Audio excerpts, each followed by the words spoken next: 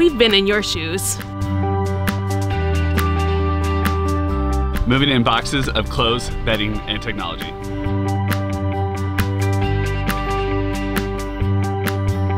My mom put all my clothes away and she made my bed.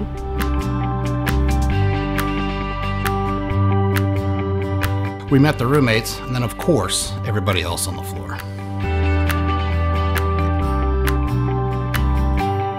It's an exciting time for everyone.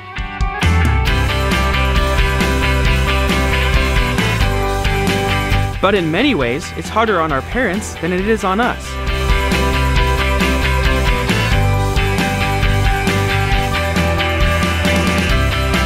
So here's some advice to help you survive. Find out when they have exams or a paper due and just send them an encouraging text, making sure you're encouraging them and supporting them through college. Stay in touch by setting up a weekly phone call. So, like our daughter, your child may want to come home early on in the school year. And my advice is to encourage them to stay on campus, to get to know neighbors, friends, and get involved with service organizations that are available on campus. Encourage your son or daughter to get involved in one of the many activities here on campus or to seek out service opportunities here in McMinnville. It is important to stay involved on campus, but remind your students academics come first.